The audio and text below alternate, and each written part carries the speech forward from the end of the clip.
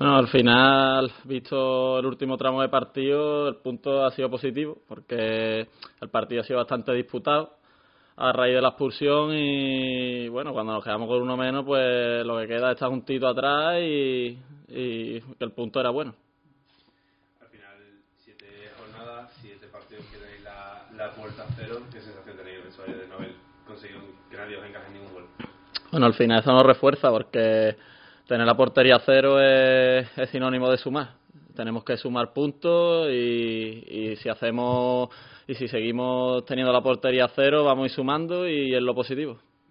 Eh, decía antes que a sí le había dado la sensación de que habéis perdido dos puntos más que haber ganado uno. Eh, decías tú, bueno, que ese tramo final del partido quizás ha estado usted ahí un poquillo más buscando ocasiones, pero quizás por el cómputo en general, yo creo que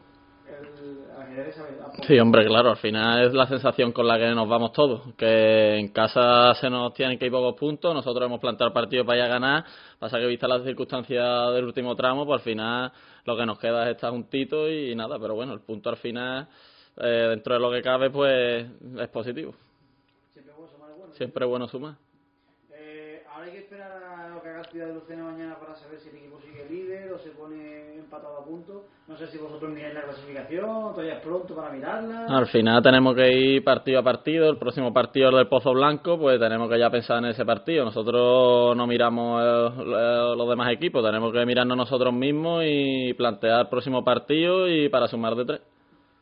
¿Qué os ha faltado hoy en, ataque, Ale, para no terminar de hacer gol, independientemente ya del penalti fallado por, por Diego, ¿no? ¿Qué os ha podido faltar en ataque hoy? Bueno, pues quizás tener un poco más de paciencia en esos tres cuartos de campo, dar, dar vueltas, llegar de una banda a otra, pero bueno, la verdad que antes de la expulsión el equipo ha estado bien, hemos tenido ahí el, penalti y nada, bueno, eso es, eso es todo. ¿Era el Utrera que esperaba y que había un poco preparado durante la semana? Sí, es un equipo bastante competitivo. Eh, a la vista está que están ahí arriba y van a estar todo el año peleando y por esos puestos de arriba y, y era lo esperado. A nivel personal, ¿cómo te estás sintiendo? ¿Estás participando? ¿Cómo te encuentras? Bueno, a nivel personal me encuentro bastante bien, me encuentro muy bien físicamente y la verdad que me encuentro bastante bien.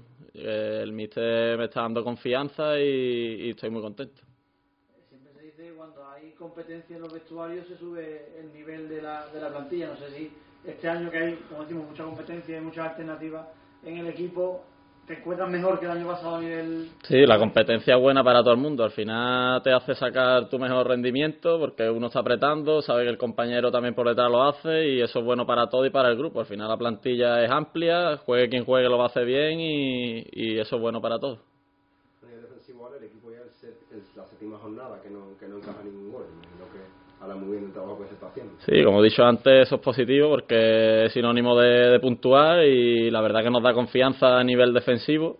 Que, que llevemos cero, cero goles encajados y nada, es, es, bueno para seguir mirando hacia adelante.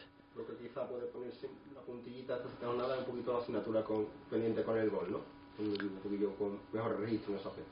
Sí, bueno, pero al final las ocasiones, ocasiones tenemos, ocasiones tenemos, generamos ocasiones, pero bueno, ya entrará, paciencia y, y entrará seguro.